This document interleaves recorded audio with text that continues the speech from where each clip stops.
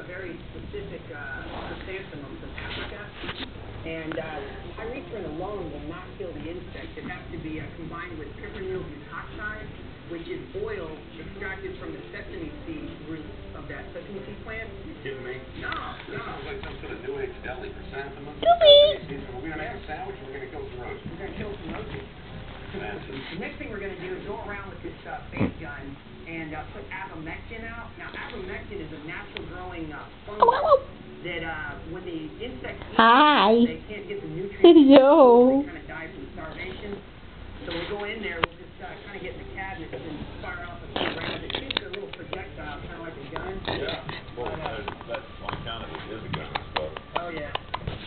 That's, that's Hello. You're a psycho. You're natural.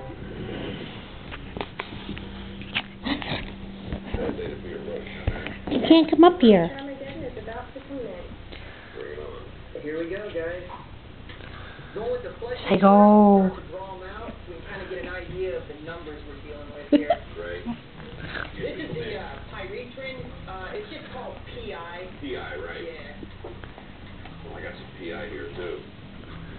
Oh,